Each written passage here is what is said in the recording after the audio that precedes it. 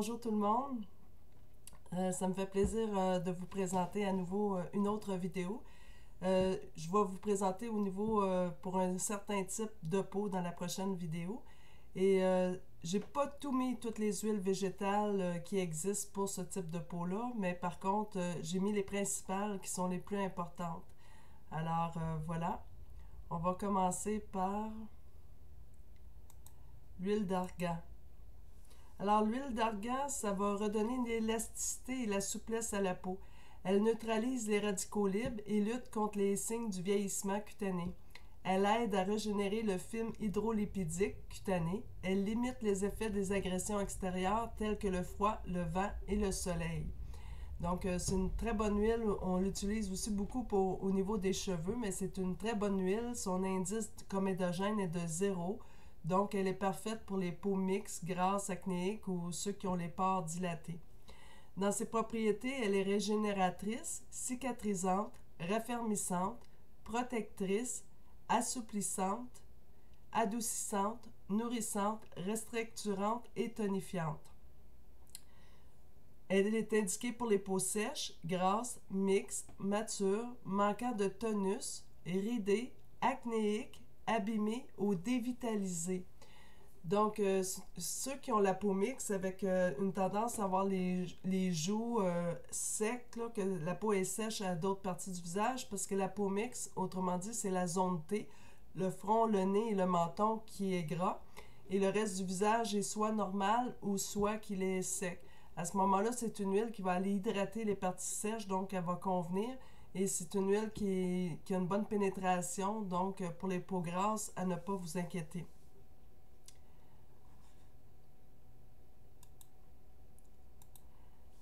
Maintenant, le jojoba. C'est une huile que j'affectionne euh, particulièrement, l'huile de jojoba. Euh, l'huile de jojoba protège de la déshydratation, elle freine les pertes en eau de la peau, elle pénètre sans laisser de film gras en surface et, elle va aller régulariser les sécrétions de sébum. Donc, elle va aider les glandes à régulariser leurs euh, sécrétions.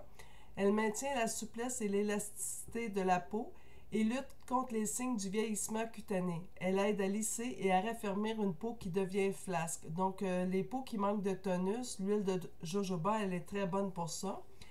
Dans ses propriétés, elle est adoucissante, assouplissante, calmante, régénératrice, protectrice, rééquilibrante, nourrissante et réparatrice.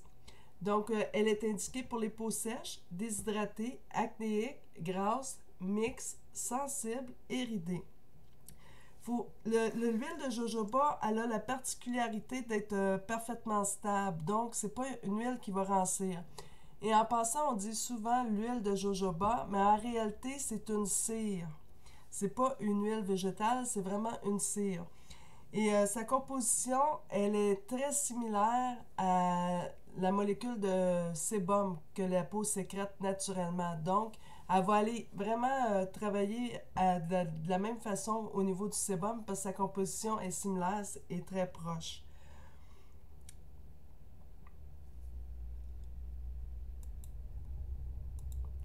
On a l'huile de macadamia. L'huile de macadamia va nourrir en profondeur la peau, puis elle va offrir une hydratation maximale. Donc, si on a la peau sèche en même temps d'être euh, comme les peaux mixtes, elle est très bonne pour ça. Elle a une très grande composition en acide gras qui est très proche, elle aussi, celle du sébum, mais pas aussi proche que l'huile de jojoba. Elle possède, donc, c'est un acide gras qu'on appelle l'oméga 7, qui est présent dans le sébum et qui a une forte activité antimicrobienne. Donc, elle va favoriser aussi la microcirculation. Donc, ceux qui font de, de l'acné, mais euh, c'est bon à utiliser vu qu'elle est antimicrobienne. Les propriétés sont adoucissantes, apaisantes, nourrissantes, régénératrices, protectrices, cicatrisantes et anti-déshydratation. Vous savez, lorsque les huiles sont cicatrisantes, vous allez en voir plusieurs, des huiles qui sont cicatrisantes. Ça va aider pour les personnes qui font de l'acné, pour cicatriser euh, au niveau de l'acné à ce moment-là. Alors, elle est bonne à utiliser pour les peaux sèches, grasses, mixtes, sensibles, fragiles, irritées, abîmées, matures ou gercées.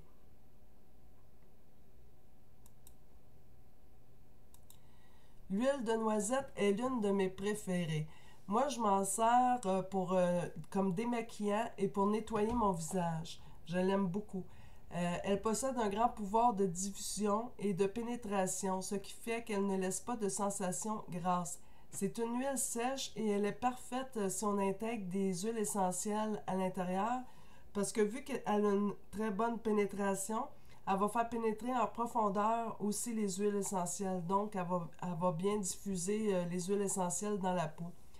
Elle est riche en sels minéraux et en vitamines, puis elle a une action astringente. Elle va aller resserrer les pores de peau. Elle est désincrustante des impuretés sur les peaux grasses à problème.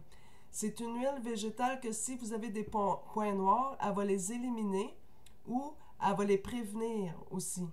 Elle va apaiser les rougeurs pour les peaux sensibles en stimulant la circulation. Elle contribue, comme je viens de vous dire, à éliminer les comédons. Elle est purifiante, astringente, régulatrice, nourrissante, protectrice, assouplissante, raffermissante pour les, peaux matures, réparatrice, désincrustante et non comédogène. Donc, c'est une huile qui est indice zéro au niveau euh, comédogène.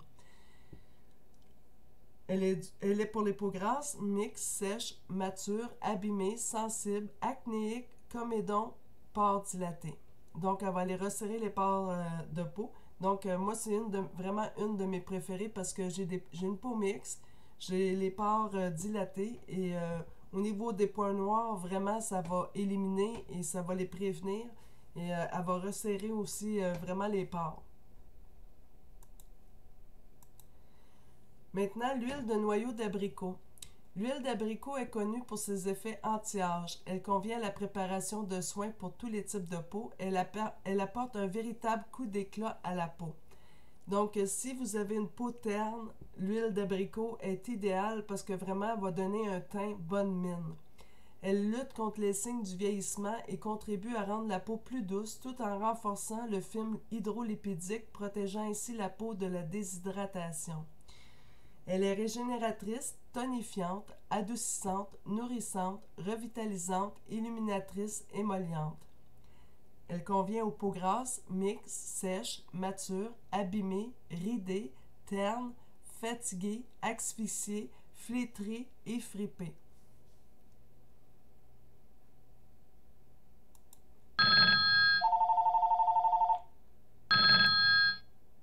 Excusez pour le téléphone. Et maintenant, nous avons l'huile de chanvre. L'huile de chanvre, c'est une huile aussi que j'affectionne euh, particulièrement. Elle va prévenir de la déshydratation en maintenant le film hydrolipidique de la peau. Ses propriétés, excusez-moi, ses propriétés antioxydantes protègent la peau des radicaux libres. Elle va aller aussi régulariser au niveau de la production du sébum des glandes elle va lutter contre l'apparition de comédons. Elle est très pénétrante, puis elle ne va pas laisser de film gras. Donc, ses propriétés est adoucissante, cicatrisante, régénératrice, raffermissante, revitalisante, calmante et émolliente. Elle est indiquée pour les peaux sèches, grasses, mixtes, matures, ridées, acnéiques, abîmées, déshydratées, dévitalisées et fatiguées. L'huile de pépin de raisin. C'est une huile qu'on on commence beaucoup à voir euh, au niveau des produits cosmétiques. Elle devient très populaire, puis elle a une très grande teneur en antioxydants, donc elle est très utilisée euh, contre les rides, le vieillissement cellulaire. Elle va exceller aussi en tant que régulateur de production du sébum, puis elle va éviter d'avoir des comédons et une peau acnéique ses propriétés sont émollientes, régulatrices, désincrustantes, régénératrices, astringentes. Elle est indiquée pour les peaux grasses, mixtes, matures, abîmées, comédons et les pores dilatés.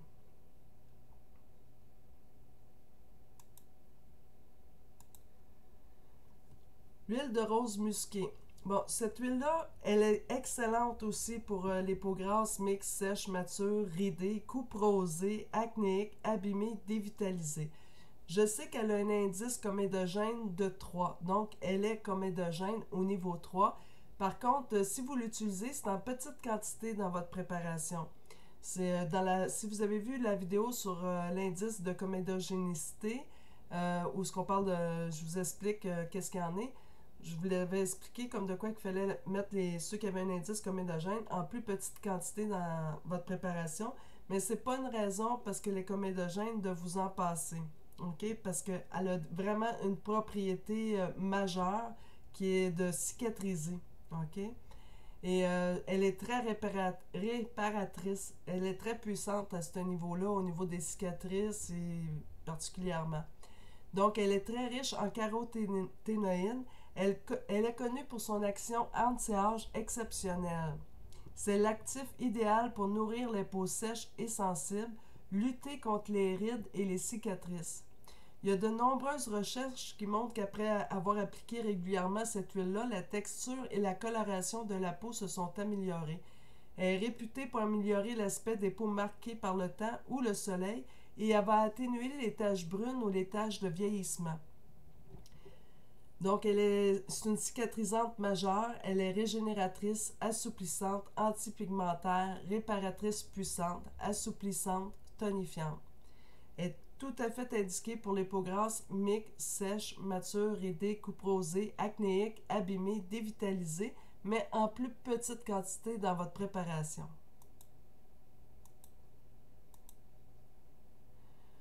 Et maintenant, on a l'huile de calophylle. C'est une huile qui est un peu plus, qui est quand même assez dispendieuse. Elle n'est pas donnée, mais euh, je l'adore, cette huile-là aussi. Elle est très riche en actifs apaisants puissants. Elle est un ingrédient de choix pour les soins de peau tiraillés ou sujettes aux rougeurs. Elle, favorise la circulation sanguine. Elle est cicatrisante et purifiante. C'est une huile végétale qui est l'allié des peaux mixtes à grasse et aussi à tendance acnéique.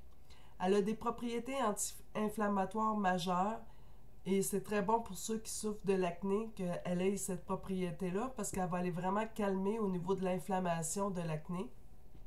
Elle est régénératrice, cicatrisante, circulatoire, anti-infectieuse. Donc, ceux qui souffrent d'acné, euh, elle va aller éliminer au niveau des bactéries. Elle est antalgique au niveau de la douleur. Elle va enlever si, vous avez la peau sensible euh, à cause de l'acné ou autre. Elle est antalgique, donc elle va vraiment diminuer euh, la douleur. Elle est tonifiante, réparatrice, purifiante et apaisante.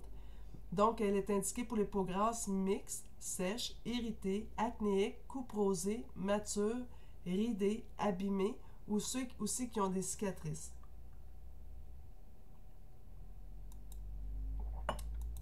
Alors voilà, euh, c'était un, résumé euh, sur euh, les huiles végétales pour peau acnéique, mixte ou grasse. Et euh, je vous ai pas toutes, comme je vous disais, je vous ai pas toutes présenté toutes les huiles. Il y en existe d'autres, mais j'ai mis quand même euh, les principales. Euh, pour les huiles comme l'huile d'abricot, c'est un fruit à coque. Alors vérifiez quand même si vous avez des allergies aux noix ou comme l'huile de noisette. Si vous avez des allergies aux noix, ce serait important de faire le test dans le pli du coude, d'appliquer un petit peu de l'huile, puis au bout de 24 heures, regardez dans les 24 heures si vraiment vous avez une réaction cutanée. Parce que c'est pas parce que c'est une huile végétale, c'est comme il y en a qui sont allergiques aux arachides. Bon, ben, il y en a qui peuvent être allergiques à l'huile de noisette ou l'huile d'abricot. Donc, c'est quelque chose à vérifier. Euh, dans mes prochaines vidéos, je ne sais pas comment je vais les faire encore. Je ne sais pas si la prochaine vidéo, ça va être pour les hydrolats qui conviennent aux peaux grasses, mixtes et acnéiques. Ou si je vais aller euh, tout de suite dans une autre vidéo d'un différent type de peau. Mais c'est à venir. Alors, euh, comme je vous disais, pour, euh, vous pouvez choisir une des huiles que je vous ai présentées comme démaquillant. Naturellement, prenez une huile qui n'est est pas dispendieuse. Si vous prenez l'huile de calophylle, elle coûte, elle coûte cher. On ne se démaquille pas avec l'huile de calophylle. on va l'utiliser plutôt dans notre préparation pour un sérum. Moi, j'utilise l'huile de noisette, c'est une de mes préférées parce que vraiment, elle est désincrustante. Elle va vraiment prévenir ou éliminer les points noirs qui sont déjà en place. Et euh, j'adore cette huile-là pour me démaquiller ou nettoyer mon visage. Un autre point important, quand on fait de l'acné et qu'on a la peau grasse, parce que je me souviens, adolescente, c'était mon cas, vraiment, c'était vraiment marqué. On veut, on a tendance à vouloir assécher la peau. Et c'est la dernière chose à faire. OK? On pense qu'en asséchant la peau, en asséchant les, pour que les boutons vont disparaître, ce n'est pas le cas. Une peau grasse, c'est parce que les glandes sébacées, ils sont comme beaucoup plus activés, OK? Et si vous donnez de l'huile à vos glandes sébacées, elles vont se calmer, tout simplement, OK? Et comme je vous ai dit dans la vidéo, vous avez vu, il y a des huiles qui vont aller régulariser au niveau de, du sébum que vos glandes vont sécréter. Donc, nourrissez votre peau avec une huile qui va aller régulariser au niveau de vos glandes. Et vos glandes vont s'apaiser automatiquement, donc ils vont moins sécréter de sébum parce qu'ils n'auront pas besoin de sécréter du sébum parce que vous allez leur en avoir donné suffisamment. Donc, votre peau, vraiment, va se rétablir.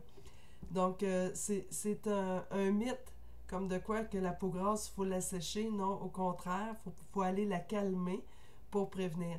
Donc, euh, oui, ceux qui ont des peaux grasses, mixtes ou acnéiques, vous pouvez nettoyer votre visage avec une huile végétale. Fait que vous nettoyez, vous passez l'huile sur votre visage par mouvement circulaire de l'intérieur vers l'extérieur.